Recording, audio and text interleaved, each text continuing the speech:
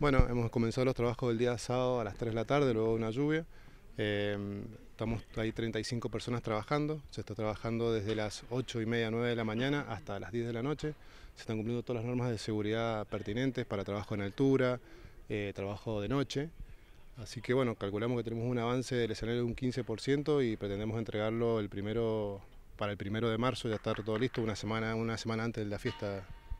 tenemos un plan de trabajo que estipula todos los tiempos específicos con respecto a las lluvias y bueno, vamos bien, vamos eh, con un avance de un 15%, por lo cual eh, tenemos estipulado el tema de las lluvias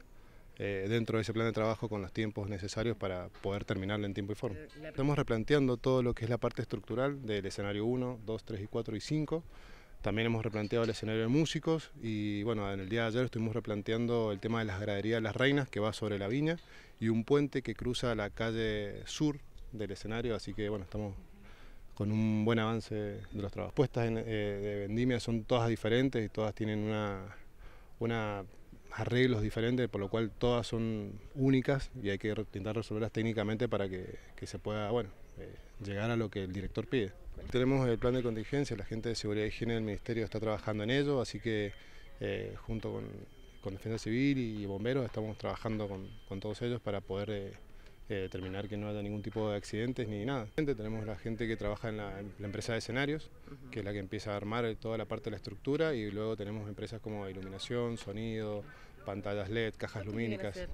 La gradería de los músicos, hay un, este año el escenario del músico no es horizontal como se plantea todos los años, sino que se hace una gradería para que los músicos puedan, puedan ser visualizados por toda la gente que está en el teatro en la noche de la fiesta, entonces bueno, eso por ahí lleva